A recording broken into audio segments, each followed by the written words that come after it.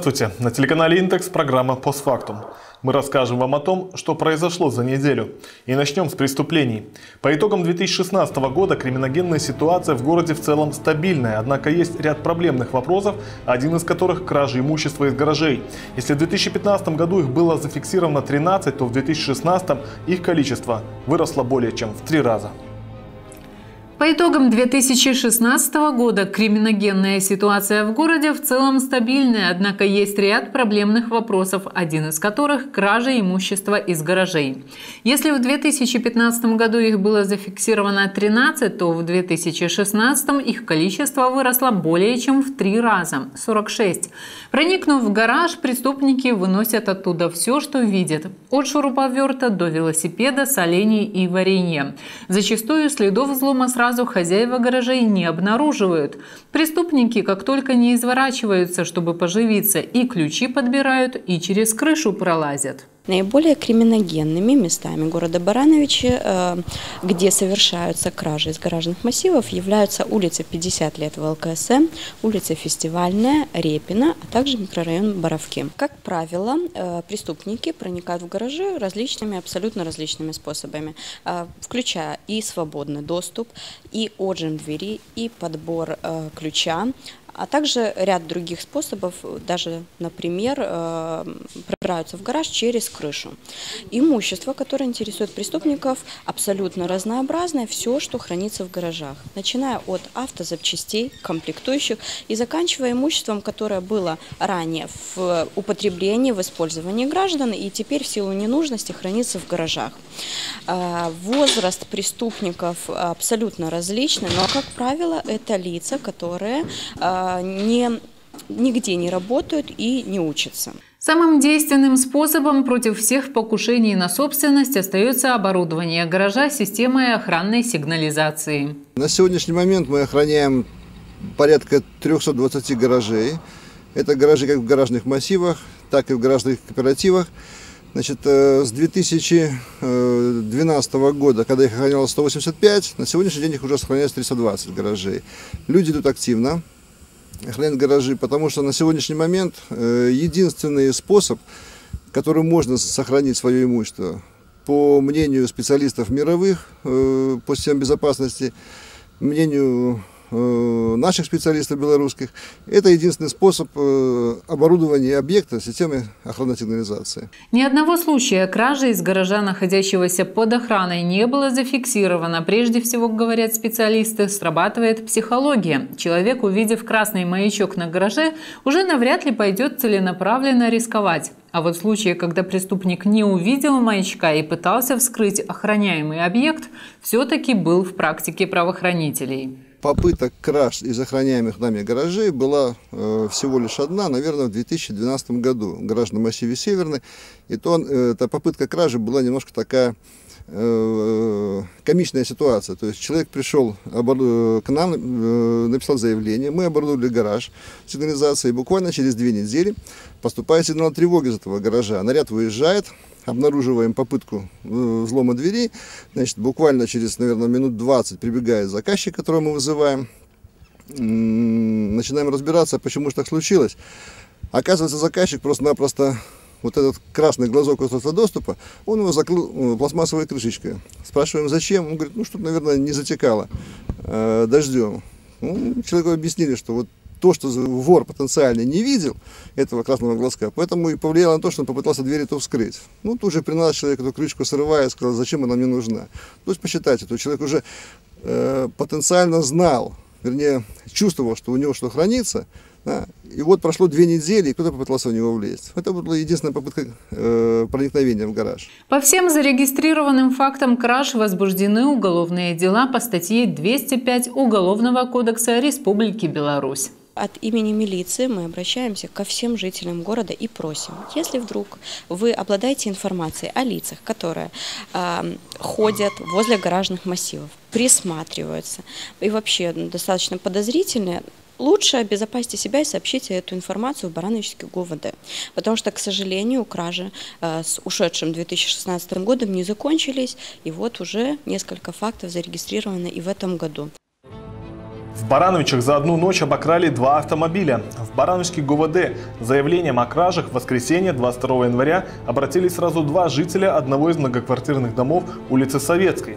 Из автомобиля Volkswagen неизвестный злоумышленник похитил знак аварийной остановки, огнетушитель, аптечку и набор инструментов, а из Ниссана съемную панель магнитолы.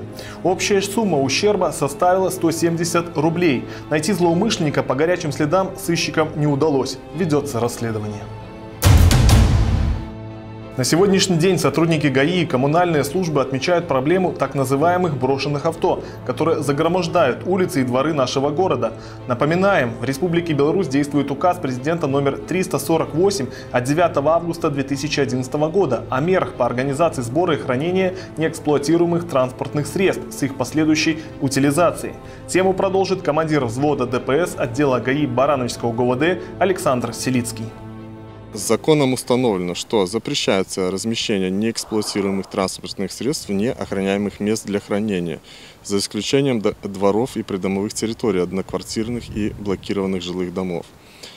Э, под неэксплуатируемым транспортным средством понимается транспортное средство, на котором отсутствуют элементы, предусмотренные его конструкцией. Это стекла салона, колеса, элементы кузова, а равно имеется их деформация, либо внешние видимые повреждения, при наличии которых запрещается его участие в дорожном движении или исключается возможность его эксплуатации а также транспортное средство, которое не эксплуатируется более 6 месяцев, 6 месяцев со дня истечения срока действия разрешения на допуск транспортного средства к участию в дорожном движении и не поддерживается в надлежащем состоянии, допускающим возможность его участия в дорожном движении или эксплуатации. Представителями ЖЭСов, которых имеется в городе Барановичи 7, совместно с сотрудниками госавтоинспекции выявляются неэксплуатируемые транспортные средства и принимаются меры по установлению их собственников, владельцев.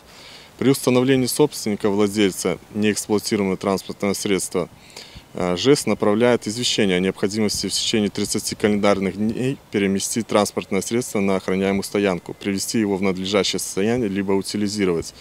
При этом в извещении сообщается о порядке утилизации, а также о правовых последствиях невыполнения указанных в извещении требований, в том числе принудительном перемещении неэксплуатируемого транспортного средства на охраняемую стоянку и признании данного автомобиля бесхозяйным с последующей его передачей в собственность, в собственность э, административно-территориальной единицы, то есть в распоряжение и собственность э, городского исполнительного комитета. В течение 30 календарных дней с момента получения извещения о э, надлежащем состоянии транспортного средства собственник должен привести принадлежащее ему транспортное средство в надлежащее состояние, либо его поместить на охраняемую стоянку, либо в гараж. Если за это время собственник ничего не сделал со своим автомобилем, то данное транспортное средство эвакуируется на штрафстоянку. При этом э, собственник возмещает все затраты по, дальнейшем, э, по дальнейшей эвакуации и э, хранению данного транспортного средства. Перед судом предстанет 36-летний житель Барановича, обвиняемый в мошенничестве и пострекательстве к даче взяток, сообщает Белта.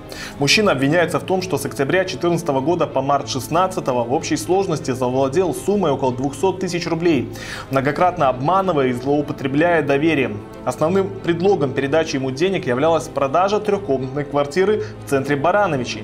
Со слов подследственного он обратил внимание, что в ней никогда не горит свет. Потерпевший мужчина говорил, что хозяин квартиры содержит содержится в СИЗО, а ему необходимо продать квартиру для выплаты исков и штрафов, что не соответствовало действительности. Несколько человек посчитали предложение выгодным и сразу передали всю сумму в размере от 10 до 20 тысяч долларов. В других случаях мошенник предлагал гражданам продать заброшенные участки, организовать совместный бизнес, приобрести здание. Еще одного мужчину подозреваемый подстрекал передать взятку должностным лицам облсполкома в размере около 9 тысяч рублей для получения права аренды земель в парке и на площади Ленина. В целом, во время следствия установлены 19 потерпевших. Им возмещено около половины суммы причиненного материального ущерба. На имущество обвиняемого наложен арест. Материалы уголовного дела изучены прокурором и направлены в суд для расследования. Житель Барановичи осужден за развратное действие в отношении семилетних девочек, сообщила старший прокурор отдела прокуратуры Брестской области Надежда Некрашевич. Случай произошел летом 2016 года. Через сквер вблизи школьного стадиона проходил 66-летний местный житель. Заметив играющих там маленьких девочек, мужчина решил оголиться. Дети о случившемся рассказали родителям, затем последовал звонок в милицию. Эксбициониста задержали. Суд приговорил пенсионера к году лишения свободы с отбыванием наказания в исправительной колонии общего режима. Кроме того, мужчина должен принудительно пройти лечение от алкоголизма. Однако своей вины он не признал и обжаловал приговор. Его рассмотрела судебная коллегия по уголовным делам Брестского областного суда. Предыдущее судебное решение оставлено без изменений. Приговор вступил в законную силу. 22 января сотрудники отделения охраны правопорядка и профилактики Барановского ГУВД в ходе осмотра дома, расположенного на улице Горького, нашли в нем 11 пластиковых бочек емкостью 40 и 60 литров. Все они были наполнены брагой, общий объем которой составил 730 литров. В ходе проверки было установлено, что владелицей браги является 57-летняя жительница города Барановичи. Спиртосодержащая жидкость изъята. По факту произошедшего проводится проверка.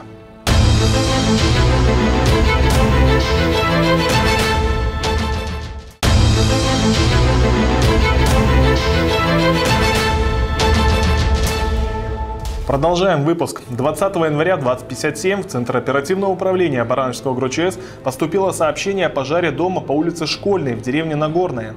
Происходило открытое горение кровли дома, угрозы соседним строениям не было. В результате пожара огнем повреждена кровля, перекрытие имущества, находящееся в доме. Причина пожара устанавливается. Рассматриваемые версии – нарушение правил эксплуатации печей, теплогенерирующих агрегатов и устройств, а также нарушение правил эксплуатации электросетей и электрооборудования.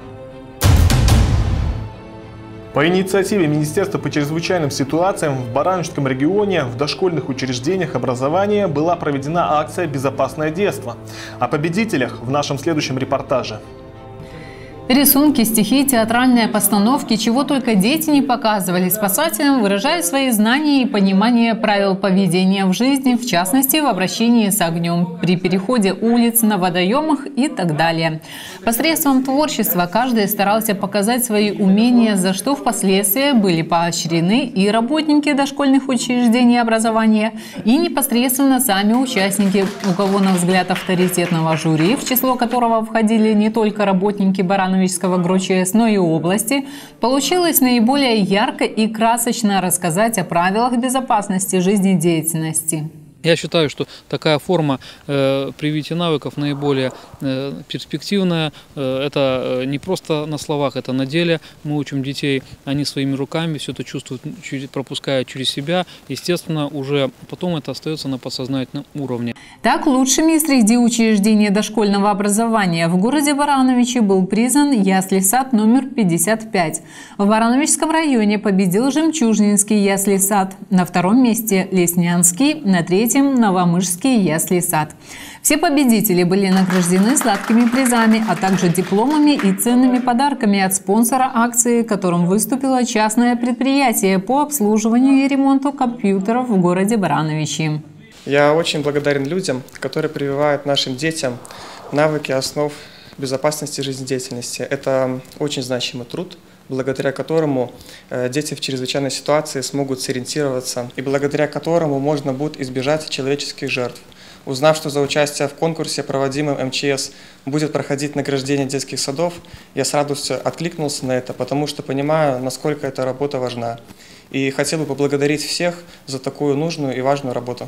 По словам начальника Барановичского ГРУЧС, проведение таких мероприятий продолжится в регионе. Тем более, что они имеют большой интерес не только со стороны взрослых, которые заинтересованы, чтобы научить ребенка в правильном поведении в жизни, но и среди детей, которые лучше воспринимают информацию в игровой и творческой форме.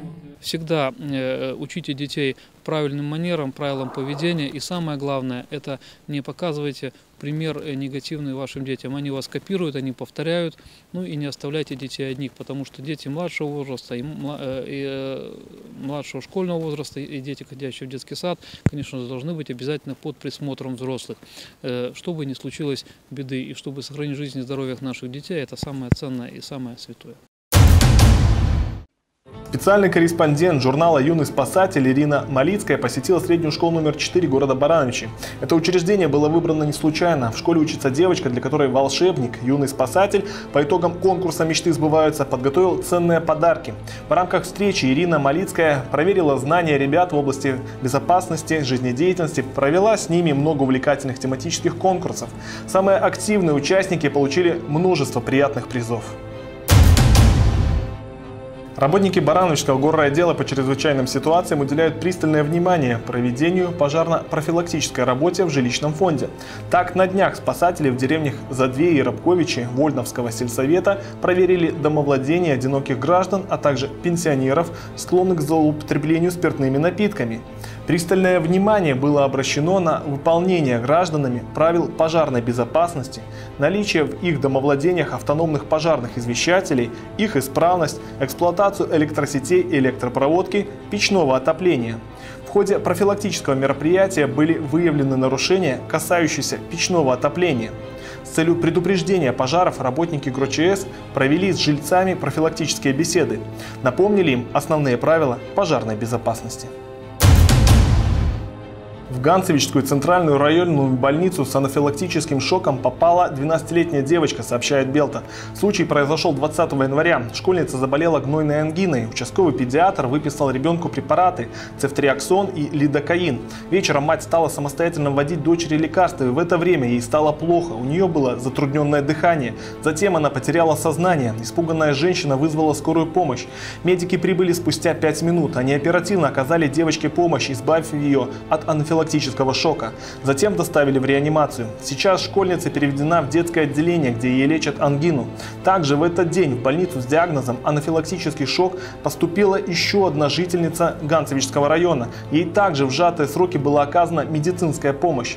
В настоящее время здоровью женщины ничего не угрожает.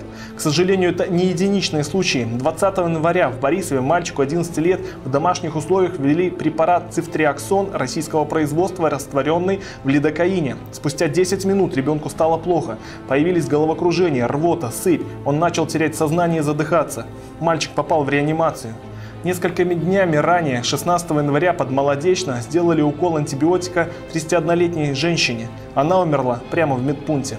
С 20 января Минздрав Беларуси временно запретил использовать два лекарственных препарата – цефтриаксон и лидокаина гидрохлорид. Это все, что мы хотели рассказать. Оставайтесь с нами и берегите себя. We'll be right